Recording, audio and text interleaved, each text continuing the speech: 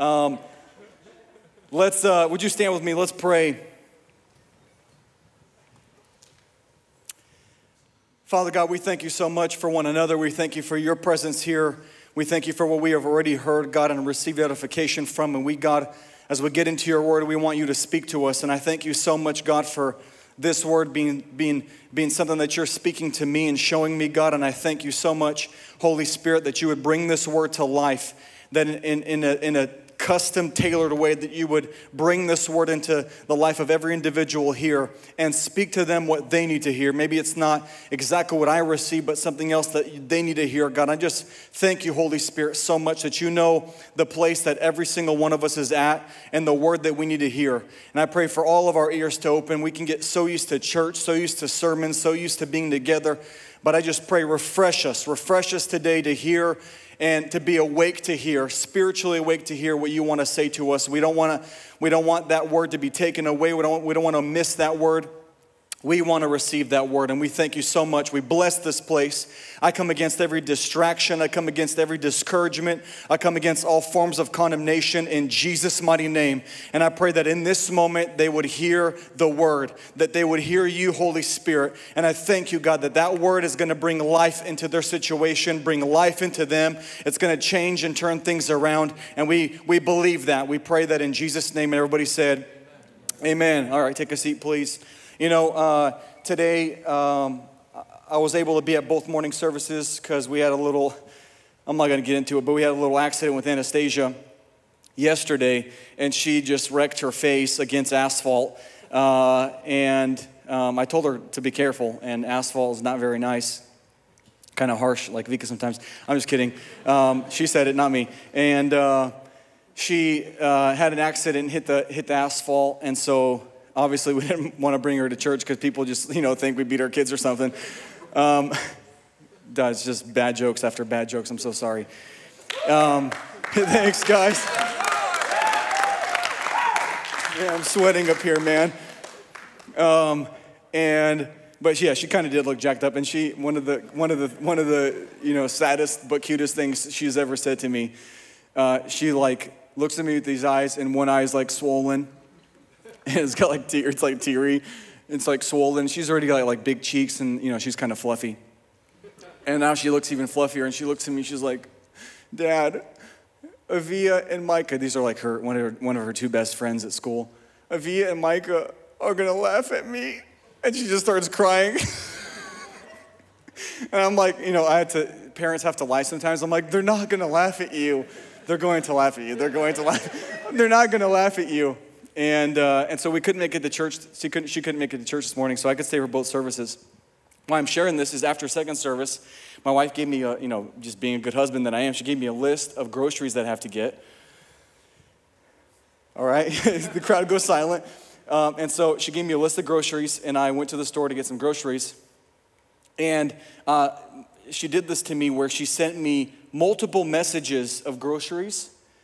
And uh, and when I went to the store, I pull up and really quick I, I, look through the messages and I copy copy them to my notes. And so I run in like I, that's just my game plan when I go to the store is I have a list and she actually puts the things in order. Literally, I walk into the store and I just start finding these things as I as I follow the magic trail. And so she gave me this list and I end up not copying one of the messages. I didn't see it because it was like earlier and then we texted back and forth a little bit. And so I come home she's prepared lunch, and there's things in that first message that I had to bring that are a part of the lunch. And so my wife's already kind of like, Vlad, what's up, man? Come take a seat, brother. Hey, man. Everybody say, hey, Vlad. Hey, brother. It's Lion King. It really is. It's him. Oh my gosh. I always put him on the spot. Sit down, dog. Come on. Come in the front. Come to the front. Everybody, just give him a round of applause. Oh my gosh, his hair. Oh my gosh, his hair. Oh my gosh. and um, uh, I get home, I get home, I get home, and my wife's like, no, can you imagine four kids, four kids under five years old by herself at home? And so she's like putting, trying to put the twins to sleep, and she's just hustling. She's hustling, and I made the mistake of missing that first message. It's a miracle that I'm here. Uh, and I I, I'm like, you know what? I'm, I got frustrated. I'm like, because I'm hungry. like, I didn't eat in the morning, two services, it's three o'clock, I haven't eaten yet. Somebody help me out, brothers. Help me out, homies. And so um, it's three o'clock, and I'm like, I love you. I'll go to the store again. And I, you know, I really meant that. And I uh, ran out the door and I ran to the store again. And I'm kind of frustrated going to the store. I'm like, like I, I just wanted to eat my meal, rest a little bit, and I gotta, you know, youth prepare and everything. And I just need my time. And so I end up rushing, rushing to the store and I, I'm flying into the store. And as I'm like in a hurry, I'm thankfully just had to be in one department to get these things I missed. And as I'm there, I'm kind of like, I want to be really quick and out the door. And the second item I go to grab, I get in, I get in this lady's way. I kind of like cut her off.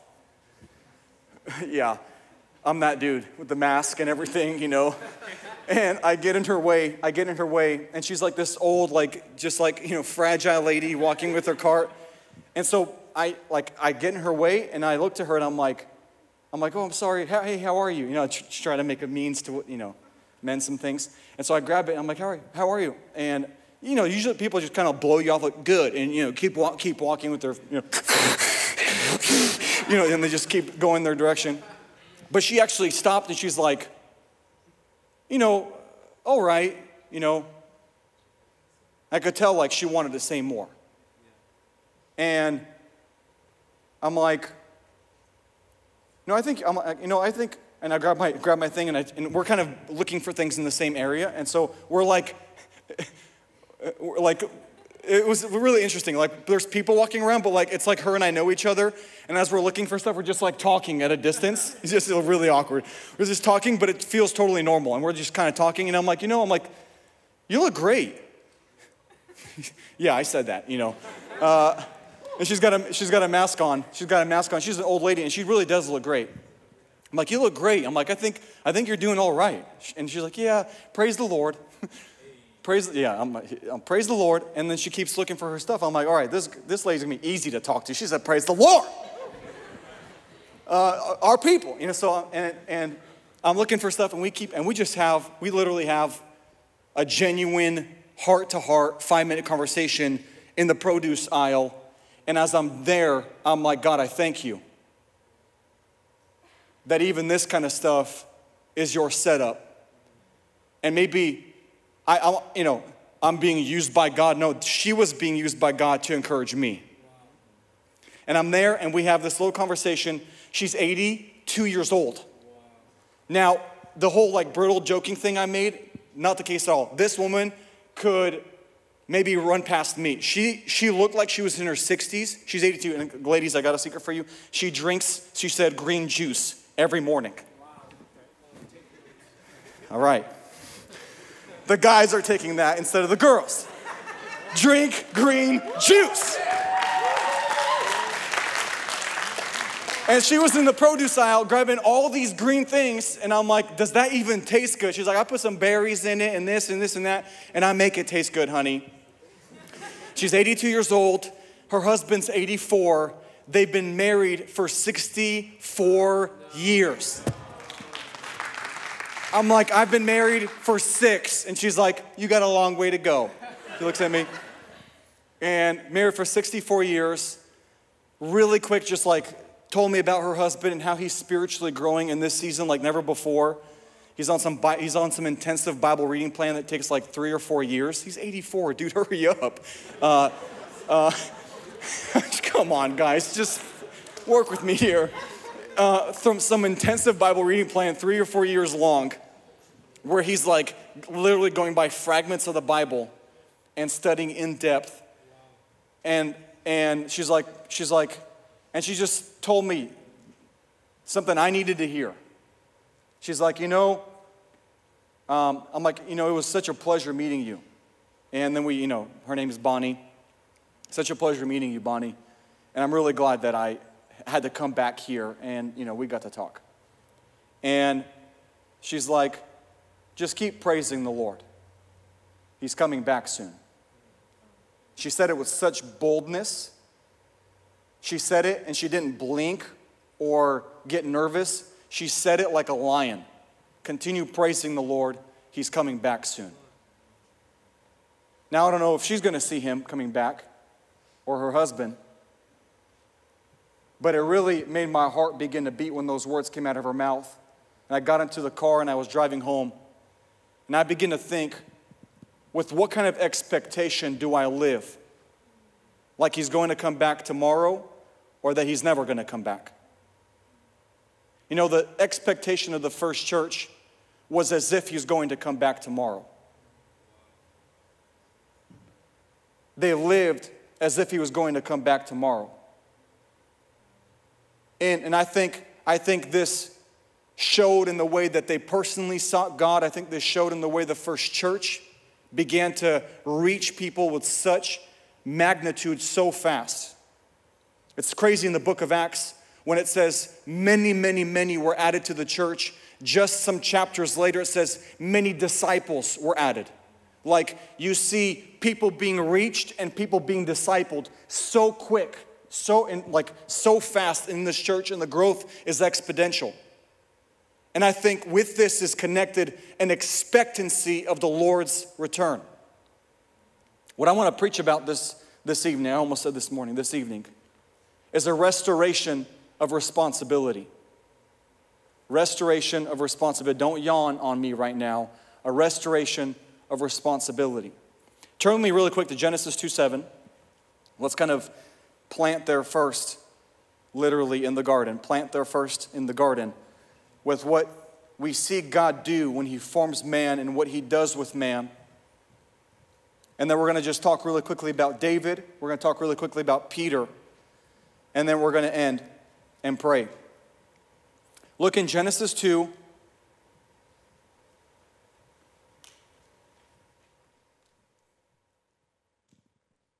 And let's read from verse 7. Now, you know, we read Genesis 1, we go through the day 1, 2, 3, 4, 5, 6. On 6, man is made. Genesis 2 almost kind of goes a little bit backwards and starts going into, into some of the detail specifically about man being made. And look what it says in verse number 7. Then the Lord God formed the man from the dust of the ground. He breathed the breath of life into the man's nostrils, and the man became a living person. Then the Lord God planted a garden in, the Eden, in Eden in the east, and there he placed the man he had made. The Lord God made all sorts of trees grow up from the ground, trees that were beautiful and all and all and that produced delicious fruit. In the middle of the garden he placed the tree of life and the tree of the knowledge of good and evil. A river flowed from the land of Eden. And we're just going to zip through this. It was split into four rivers that would water the whole earth. And then in verse 15, the Lord God placed the man in the Garden of Eden to tend and watch over it. The Lord God placed the man in the Garden of Eden to tend and watch over it. If, um, if we could go, just go through this kind of step by step, it says God formed the man from the dust of the earth. He formed him and he breathed the breath of life into his nostrils, and this man became a living being. Okay, this is for us, uh, the Bible is the highest of authority. What we believe, we believe this is how it started. We believe this is how God made man. And what's crazy is God took us from the dust of the earth and he formed us. And in forming us, he breathed the breath of life into us and made us a living being. Are you here? Somebody, are you here? I want to make sure you're listening. And he breathed into him the breath of life and made him a living being.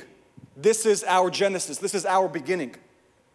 Now, I want, I don't know about you, but when I read this, I can't help but connect it to the fact of how I or you or all of us are spiritually born. Because when I came to God 13 years ago, it was 2007, I just graduated high school. When I came to God, the best way, like, you know, if, if we're gonna get Christianese and kind of talk Bible, the best way to, to kind of explain or, or illustrate my life when I came to Him is kind of what the earth looked like in the beginning. It was empty and it was void. When I came to God, my life was empty. Though it looked full, though it was busy, though I enjoyed my life, in, in all, in, you know, when the day would be over, when I'd be by myself, I felt empty and I felt like there was a great void in my life and I didn't know. I didn't, I had so many questions and more questions than answers. And that's kind of what my life looked like when I came to Him. And it's interesting that when we come to God in our emptiness, in, with our void and our brokenness and everything else that looks so messed up, we come to God and God, one of the first things that He does when we respond in repentance and we give our life to Him is He brings form back into our life. That emptiness and the void that we have and the things that we try to fill our life with that don't give us fulfillment, don't give us purpose, don't reveal destiny to us, don't reveal who I am to me, and it makes us more and more empty. But when we turn and give our life to God, it's the goodness of God that leads men unto repentance. When God's love is expressed, when God's goodness is shown to you, and you respond by repenting and giving your void, your empty, whatever you call it, to God, He brings form to it. Can anybody testify? I don't know about you, but I didn't come to God having formed my life. I came to God having been empty and having void and brokenness and misunderstanding and confusion, and God gave form to it. And then what He does by His Spirit, which is our new birth, is He breathes life into us. He breathes life. It's not just a responding to come to the altar, a praying of a prayer, and then a magic thing that happens, and we are all of a sudden cha- change. What happens here is not just a magical prayer, it's the Spirit of God that comes upon a person and brings new life where there is no life. Where a person actually, we, we hear testimonies like, when I gave my life to God and I, and I got saved, it's like the grass was green all of a sudden. It's like the sky became blue. I listened to the bird, you know, weirds, bird watchers and listeners. But what it's just, what it's showing us is that a person receives life. It's not just coming under a church building or a church name or some denomination. A person is lost and he is found. A person is dead and he is made alive. A person does not see and he begins to see. A person has no desire to live and walks out with a desire to live. Something happens when a person meets God and the Holy Spirit breathes on him.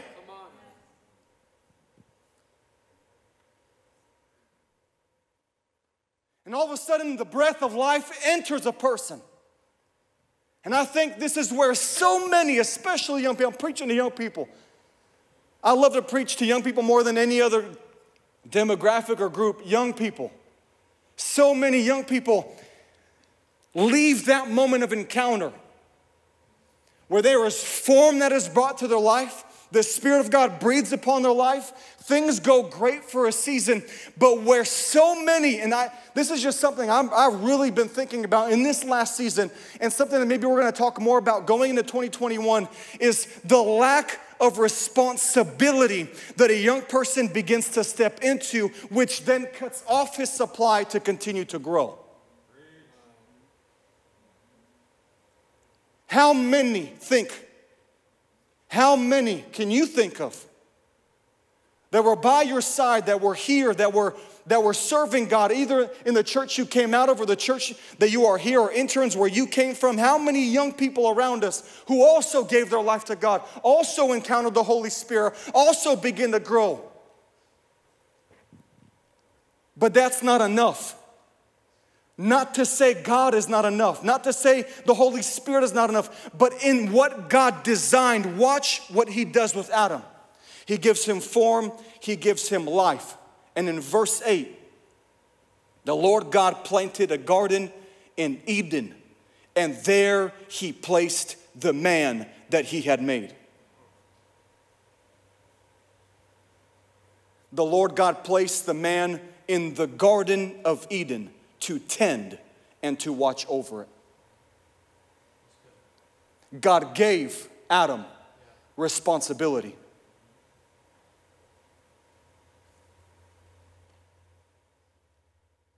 Somebody, God gave, I want you to see something. God gave Adam responsibility. Not just, we're not just talking about JOB, not just talking about career, not talking about you know, eight to five, God gave Adam responsibility.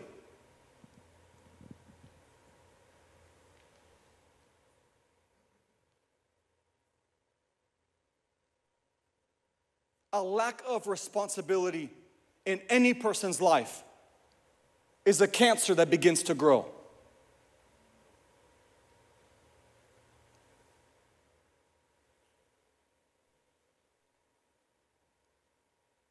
He gave Adam responsibility to tend and to watch over the garden that he placed him into.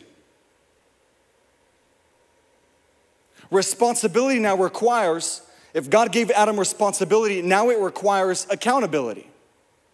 Because God gave him something to do.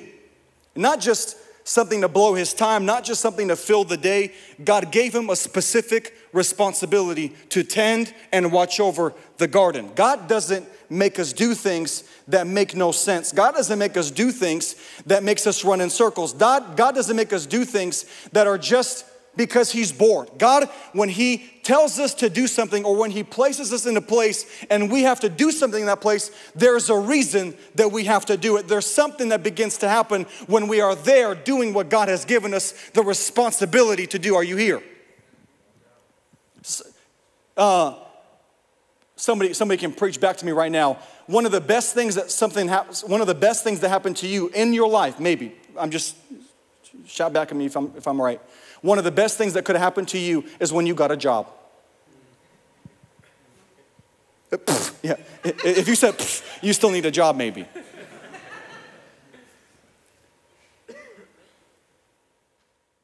I think, I, I think, I think we don't give enough responsibility to younger people than we should. Uh, if in Israel a 12 year old boy was considered a man, this guy, this 12 year old boy, if he was a Jewish boy, knew the five books, knew the five books of Moses. Besides this, was already walking in his father's career. Whether it was tending sheep, whether it was carpentry work, whether it was a fisherman, was already walking in the responsibility of bringing food and helping at home. You look at 12 year olds today, and I'm, you know, not every 12 year old, those that are serving in teens ministry, some, some of them, all they know how to do is turn on Xbox and turn Xbox off. You give them a shovel, and they think they don't know what it is, really. This is ancient. Uh, you know, the kids are getting really smart. We have excavators, Dad. Uh, you know, excavators. Have you seen the size of that shovel? Or how about, how about a generation right now that wants the million dollar idea but doesn't want to put the hard work in and learn how to save and learn how to have good work ethic and learn how to have responsibility and learn how to be accountable to a boss or, or work for somebody and work hard at it.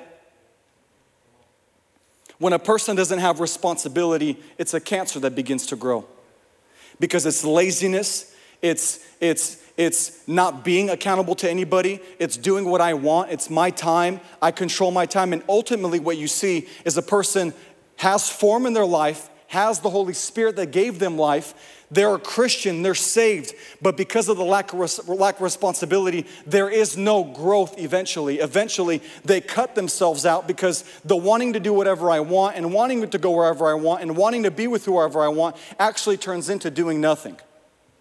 And a person ends up finding himself not in the place that God wants him to be, where he's tending and watching over, he's actually doing nothing.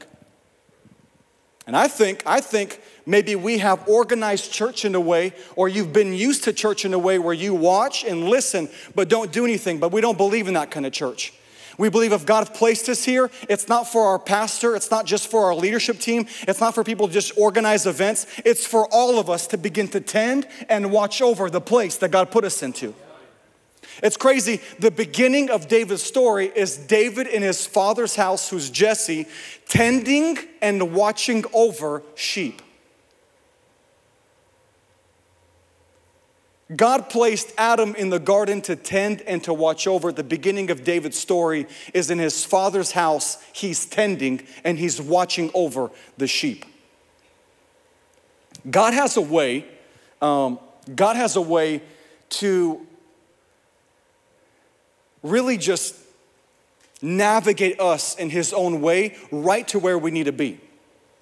You know, if I if I look back upon my life, um, when I had just got saved, and you know, if you were to tell me I, I, would be married now and have four kids and, and do what I'm doing and have the responsibilities I have and, and, and whatever, everything else that kind of my life entails, I would, I would not believe you. I, would, I had other plans. I wanted to be somewhere else.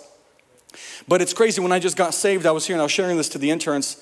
One of the first things in this church that I started doing, besides kind of like helping all, really all the young people kind of helped everywhere back in the day. We only had one service in the morning and our youth service in the evening. And so we were kind of all involved everywhere. But one of the first things that I started doing is I had to show up before service Sunday mornings. Our service was at 11 a.m., and so I had to be here at 10 a.m.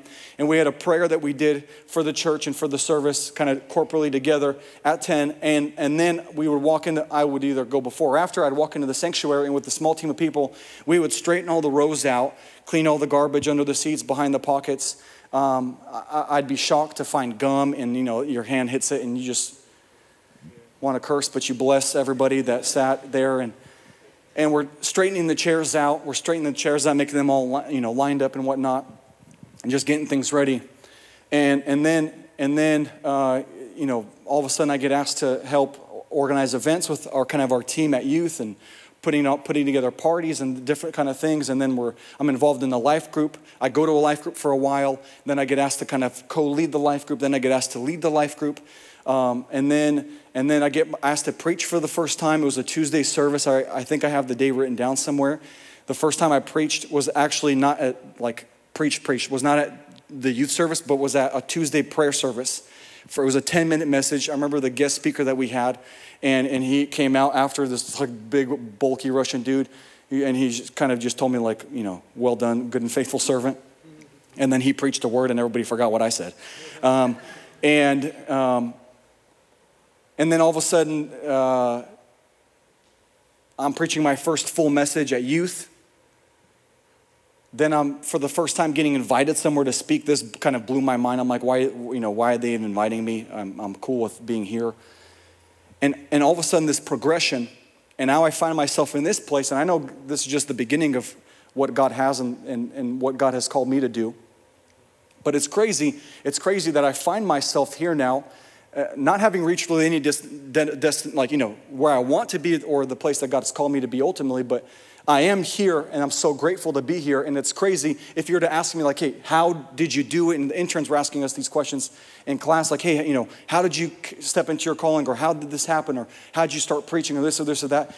And you really can't put a finger on it, but you just understand that you were in a place that God put you you are responsible in that place and god by god you know his thoughts are his thoughts are higher his ways are higher. He just begins to lead you.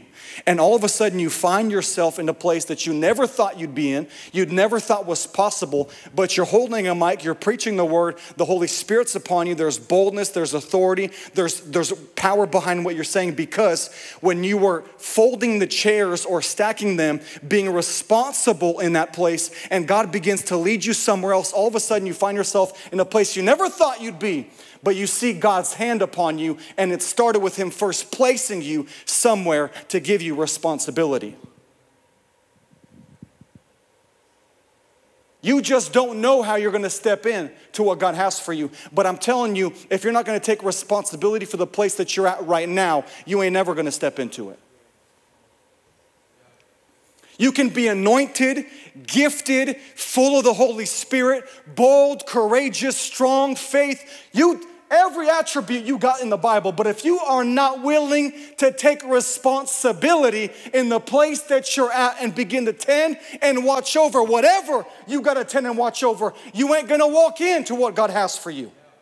And I, th- and I think I think so many young people are fooled and I rebuke the devil and his condemnation and distraction because so many people think because I got saved, because I'm a part of a great church, I'm just gonna float in to the plans of God and I'm gonna just float into the calling and float into the destiny and flow into the things that God has. But you don't float in, you walk in because God's leading you and you're walking because you're doing what God called you to do. And by doing what God called you to do, all of a sudden you find yourself from point A to point B to point C, point, point D and someone asks you, How'd you do it? You say, I don't know, it's just God. But what you are doing is being faithful in place A and place B and place C, being responsible there where you are serving. And all of a sudden, God, with his hand, is leading you.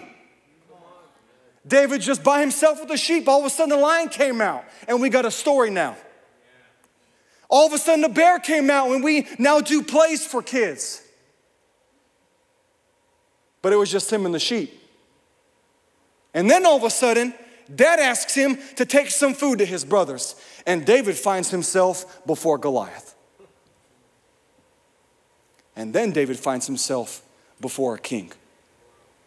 And then David finds himself playing the harp to help the king be able to run the country. And then David finds himself in a cave If David did not take care of every single sheep in his father's house, he would have taken off Saul's head in the cave. He was tending over and watching over what God had entrusted to him when he was in his father's house with his sheep. And now, 15 years later, approximately, 16 years later, 17 years later, God is now calling David to lead a nation one of the only characters in the Old Testament who functioned in the role of a king, a priest, and a prophet. He was tending the sheep, then tending a nation. Now, think about Peter. Peter, Jesus calls Peter, I think John is the only account where uh, prior to John, we have Matthew, Mark, Luke, and we kind of see Jesus go to the Sea of Galilee. He sees Peter, he sees Andrew, he calls him. But John's account says that uh, Andrew is one of the disciples that begins to follow him first, who was following John the Baptist. And Andrew goes and gets his brother Peter, tells him, I, I found the Messiah, the one that we've been waiting for. And Peter meets Jesus because of Andrew. Now, the point is, Peter meets Jesus somewhere about the Sea of Galilee, and he meets Jesus. He's a fisherman. And Jesus tells him, Peter, well, Simon, I'm, i now call you Peter, and I want you to follow me. And we, we see this, you know, the story of Peter begin. Peter begins to follow Jesus. He follows him. He, we, you know, we, we remember, the, remember the account where it says he leaves his home, he leaves his father, he leaves, uh, he leaves his wife, leaves his family, his work, and he begins to follow Jesus. And, and it's crazy, this journey begins for Peter. And as he's following Jesus, we see we see Peter kind of take this leadership role, beginning to lead the, uh, beginning to lead the rest. When Jesus asks them, Who do you say that I am? Peter has this revelation from God. We heard, that, heard about that this morning, and he speaks this revelation, and Jesus is like, You just had a revelation from the Father. Flesh and blood didn't reveal this to you, and on this revelation, I'm gonna build a church. Then all of a sudden, after this, Peter doesn't have a revelation. What's the opposite of a revelation? I don't know. De escalation? Not a heavy review, but a heavy.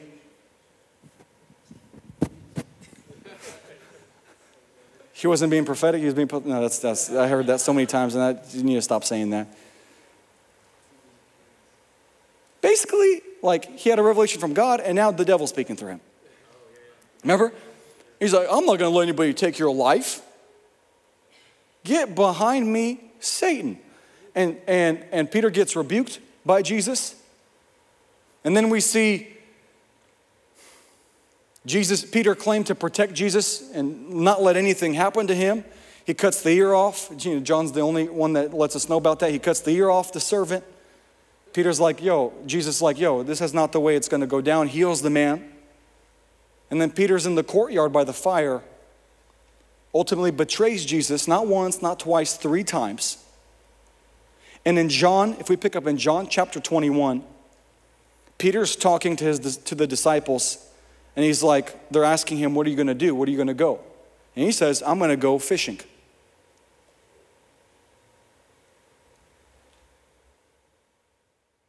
Peter denied Christ.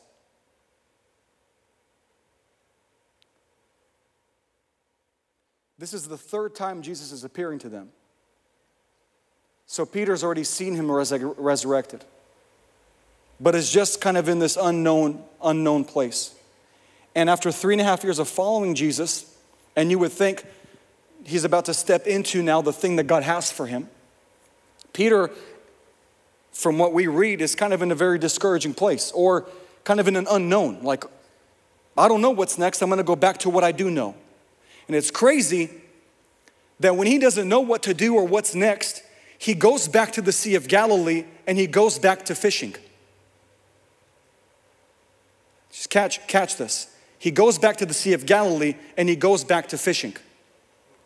And when he's fishing, Jesus shows up at the shore.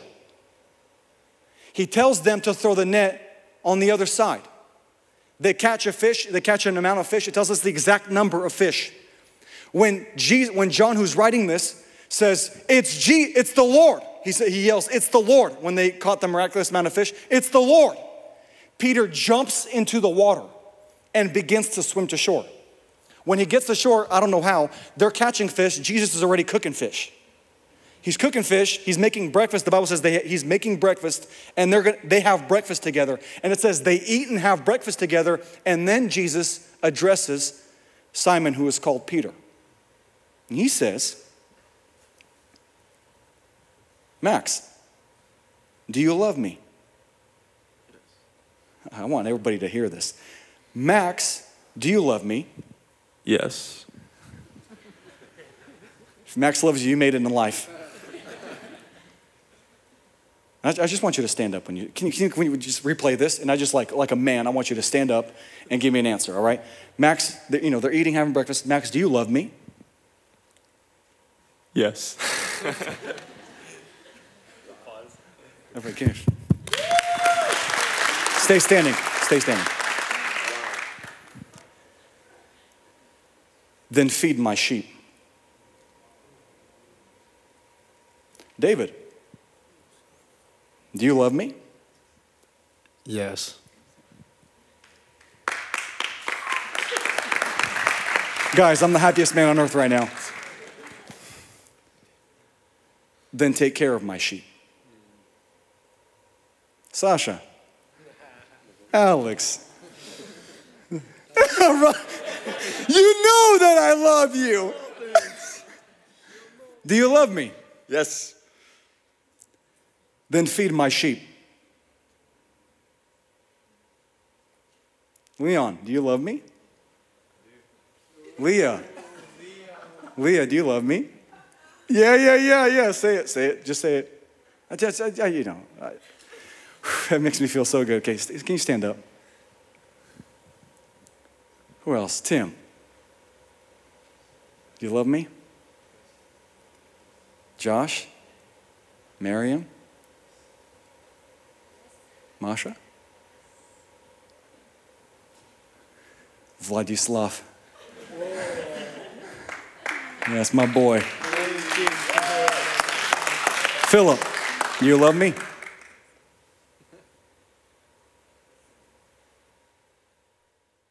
Victoria, do you love me? Sophia, my sister, do you love me? I know she loves me. Then feed my sheep.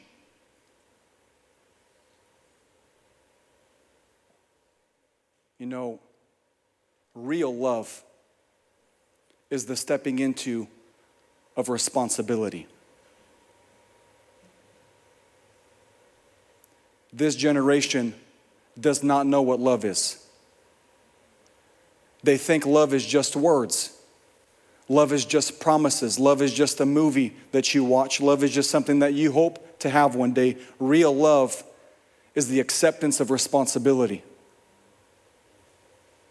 Because at the response to Jesus, yes, I love you, Jesus gave them all responsibility. And to Peter, we, we call this you know, Peter's reinstatement, his, his reincarnation, not reincarnation, what's inauguration. Peter's inauguration in this moment, where he is established now as the leader, the, the, the, the pastor, the first man of this church that Jesus is going to start.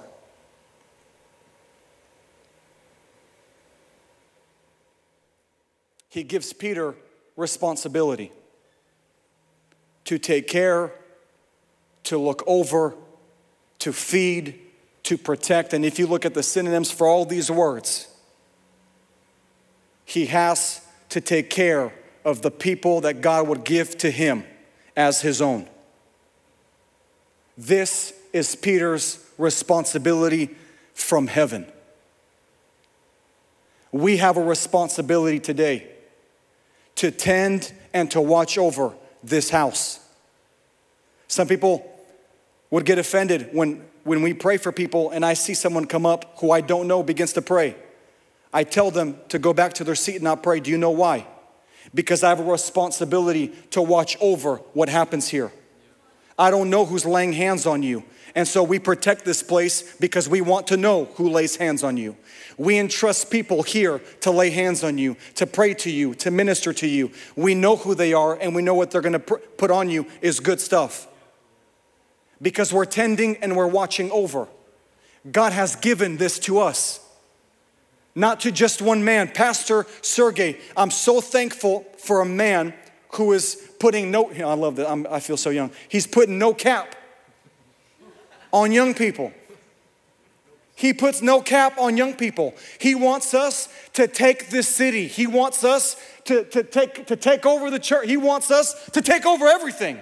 He wants us to go farther than he ever went with his team. He wants us to go farther to nations they haven't touched yet. He wants us to go farther to reservations we haven't been at yet. Because when we begin to watch over what God has given us here, God is going to begin to open doors in other places. But if you don't begin to tend where you are now, you'll never tend the greater things that God has. You'll watch the tenders, but you'll never tend yourself. And so, right now, if I'm in a life group, I need to begin to tend. If I'm in a department, I I need to begin at 10. If I'm here, I need to begin at 10. I'm not just coming to a church, I'm coming to my home.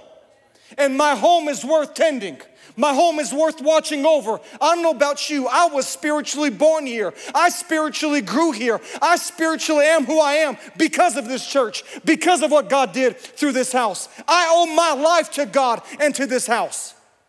So for me coming here, it's not my duty, my obligation, it's my responsibility because God has entrusted something to me. 10 years ago, I got a word. One day, you will be in charge of many people. 10 years ago. I don't know if that word is this, or the teens that we watch over with the team, or the whole youth ministry that we watch over with Pastor Slavic, but that word was spoken 10 years ago and I'm organizing events and stacking chairs. And God just begins to lead with His hand when you're responsible where you are. You're not just doing something for church, you're doing something for God. God called you, God gave you life, God gave you responsibility. And we, we take it and we say, God, I don't know why you, like Vika was sharing her testimony, I don't know why you called, I don't know why me, but I'm gonna be responsible with where you put me. I want you to stand to your feet. Join the rest. Do you love me? Yes. Do you love me? Yes. Do you love me? Yes. The less has got less. Then take care of my sheep.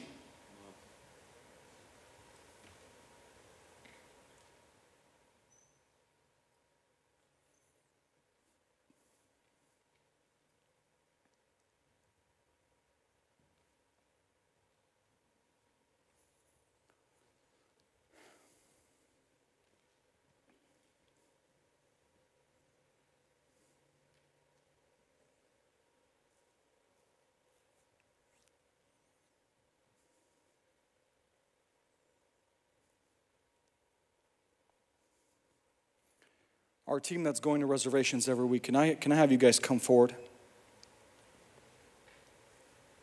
Just come forward right here to the bottom of the stairs. We're going to we're gonna pray for you right now. Our team that goes to reservations, I know some people have joined here and there, but if you have been going pretty consistently or joining Max and the team, I want you to come forward. We're going to pray for you. Yeah, some of our yeah, some of our interns, if you've been joining, it's okay. Come forward.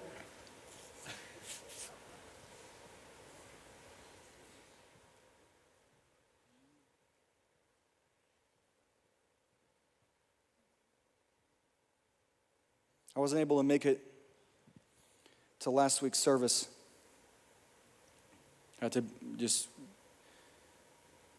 couldn't make it in. And I was watching the service, and Max was sharing his testimony about what God kind of doing in his personal life and kind of the crazy moment they had at this casino. You know, he would have never done that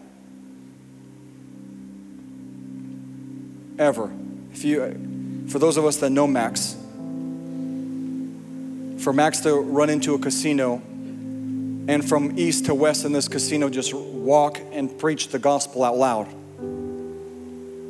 If I could be totally honest, from his internship year, he'd be one of the last candidates. He's quieter, he's more to himself. Even when we have closed circle meetings, the dude barely says anything. And we're all really jealous because he seems a lot smarter than all of us. Um, but this, this team, which started just with a, a couple guys, two, three guys, now is turning into something. And what's crazy is the beginning of this was just a desire to go do something for God, an idea that sparked a passion. Let's go preach. Let's go see what happens if we go to this reservation. We don't know what to expect, but pastor's been talking about it, our church has been praying about it. Let's do it. And all of a sudden, Max is now running through casinos preaching the gospel like a madman.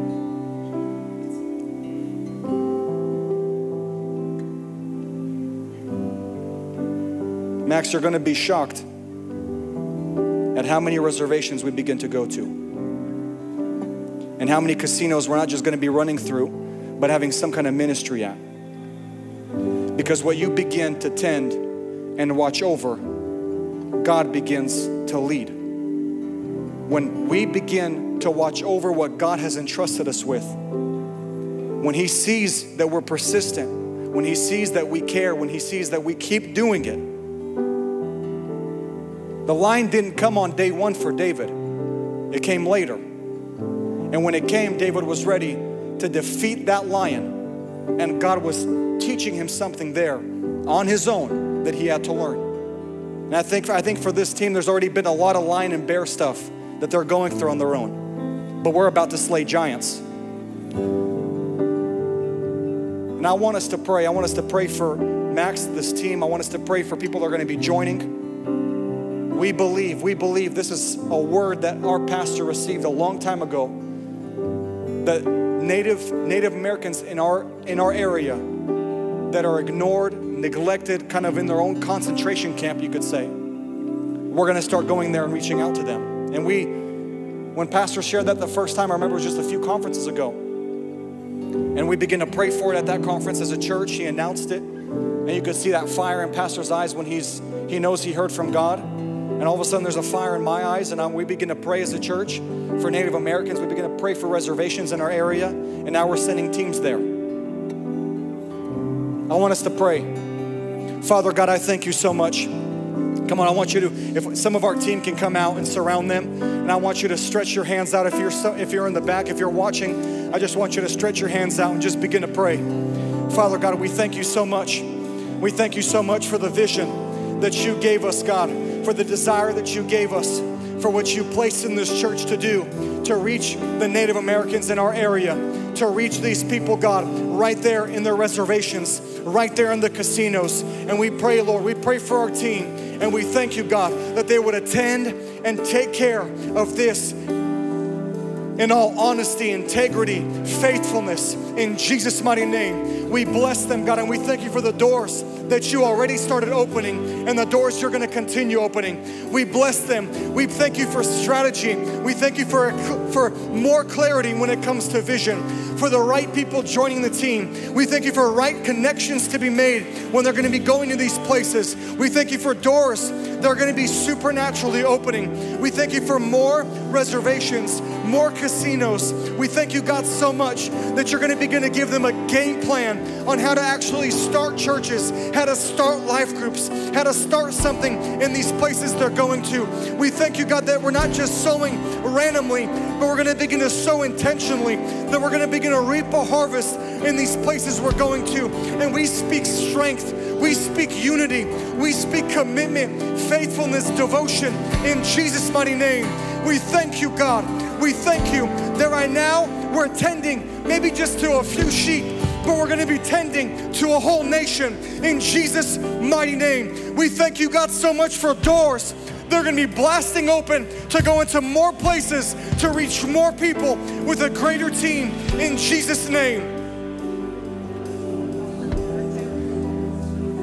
Father God, we bless, we bless the Native Americans and we pray right now as a youth group for more and more people to be reached with the gospel, for more and more people to be reached, that you would bring form to their life, that your Holy Spirit would bring, breathe upon this nation in Jesus' mighty name. And we thank you so much, God. We thank you for the responsibility you've given our church to begin to go to these places and preach the word and disciple and raise them up.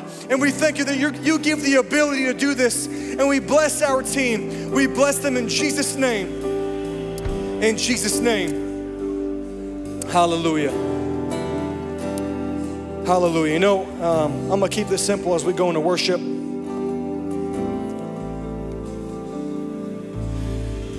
If you, if the Holy Spirit is, is speaking to you, is convicting you, is touching you, and then you just need prayer in this area, if there's a willingness you have, a willingness you have to step in one thing I forgot to mention note that when God gave form to Adam, breathed life into Adam, God had a place for him. And his place was in that garden to take care of it and to watch over it. This was his place that God had made for him to grow as a man, for him to grow in every area of his life.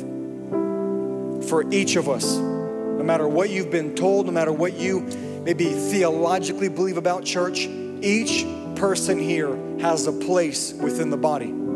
If this is your local church, there's a place here for you. If you are from a different local church, there's a place for you there. You have a place. And it's, sometimes it's just simply our willingness. You know, I didn't really know. I didn't really know, like, what could I in fullness do here? When I was just grabbing chair by chair by chair, and God led me to my place. I now know my place here, what I have to do, the responsibilities I have, and that's what I do before God. And sometimes for you, that next step is just whatever's available for you right there where you are, whether it's volunteering somewhere.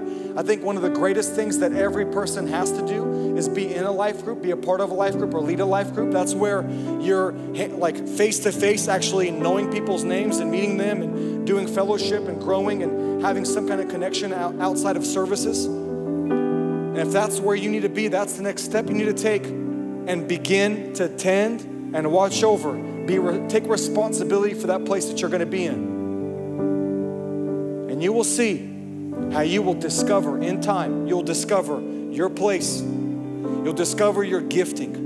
You'll discover the role that you have to play. You'll begin to hear even more clearly God's voice. You'll begin to be able to have discernment. You'll, you'll be able to make the right decisions. You're going to begin to walk.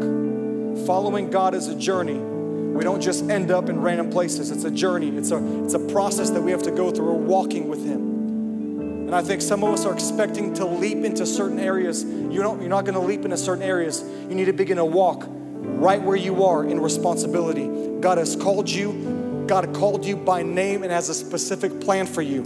I want, I don't know about you, but I want Sometimes it's the greatest, it's the greatest privilege to know confidently where I am, God wants me to be. Where I am, God wants me to be. And you begin to be responsible with what God placed in your life there where you are. And He begins to supernaturally lead you. if you got a willingness to say, God, I want to step in to what you have for me, that place, that anointing, that role, I want to know what that is. We begin to worship, I want you to come to the front, not responding to me, responding to God, and just bow your heart in humility before God. It's the sincerity of your prayer and your heart before God that God really begins to touch and answer. So if there's a sincere desire, God, I want to be where you want me to be, God's going to meet you. God's going to begin to touch you. God's going to give some of you desire right now for what you need to do next. Some of you are going to make decisions right now before you leave on what's next for you, on what step you need to take, because it's up to you to step in to what God has for you. God is making the invitation. Father, I pray for every single person right now, those watching and those here, and I thank you so much for the place that you have for every person, the role that you have for every person, the responsibility that you have for every person. You don't just you don't just call you don't just call one man to do everything. You call a body to begin to play its role. And I thank you for the role that each person here is called to play right where they are. And we pray right now, Father, any person that has lost sight of what you have, lost sight, lost faith, lost even hope, lost maybe even purpose, something that's driving them to live. We pray that you would restore responsibility today before they leave. Restore responsibility, the weight, the heavenly weight of what you have called us to do in Jesus' mighty name. We're not just serving one another, we're not just serving this church, we're serving you, God. And we want to be faithful with the responsibility that you've given us. We pray for our church right now, and we pray for the local churches in this area. We pray that we would take the responsibility that you have for us as your church. We are your witnesses to preach your gospel. We are the light to shine in this city. We are the salt to be working in this place. And we thank you that you have called us, that we are not just floating around, that we're not just living purposeless, purposeless lives, that you have a calling for us. And we want to walk in that calling. We want to take responsibility for our city, for this nation, for the people in our neighborhoods. In Jesus' mighty name, we pray that responding to you is not just saying, God, use me. It's saying, God, use me for the people that need you. God, use me for the people that don't know you. We take responsibility for our city, for this church, for this area. We don't just care about ourselves. We care about those that are around us. You have called us to carry the burdens of those that are walking with us. You have called us to be the light to those that don't know you. You have called us and given us responsibility to open our mouth and preach the gospel, to be witnesses here where we are. In Jesus' mighty name. Come on, respond to God and say, God, I'm taking responsibility. Restore it in my life. Restore it in my life.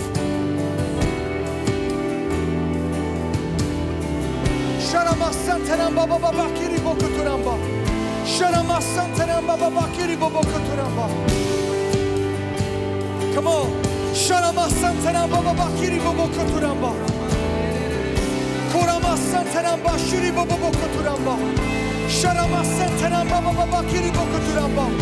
Use us, God. Use us, God. We desire to be faithful. We desire to take what you've entrusted us with.